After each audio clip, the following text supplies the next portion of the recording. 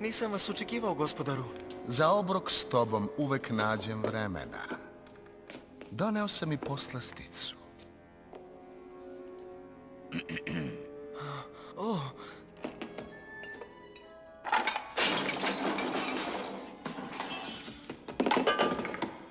Muči li te nešto, Kvazimodo?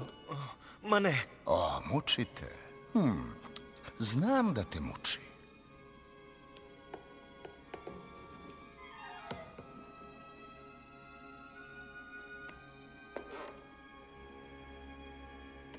Mislim da kriješ nešto. a ne, gospodaru, ne krijem. Zašto ne jedeš, dečače?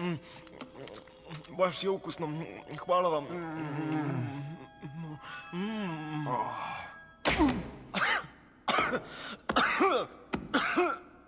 Koštica. Šta se to promenilo ovde? Ništa, gospodine. Je li ova nova? Baš je dobra. I veoma podsjeća na ciganku. Znam da si joj pomogao da pobegne! Ali ja, I sada ceo Pariz gori zbog tebe! bila je dobra prema meni, gospodaru. Idiote!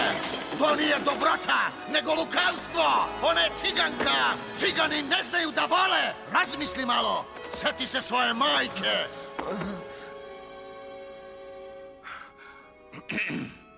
Kakve je šanse imalo jadno deformisano dete kao ti naspram njenog zavodljivog lukavstva? Ne, nije ni važno, Kvazimodo. Vrlo uskoro će nestati iz naših života. Skinuću sa tebe njene zle čini. Neće te više ona mučiti. Kako to mislite? Znam mesto gde se skriva i sutra u zoru napadam sa hiljadu ljudi.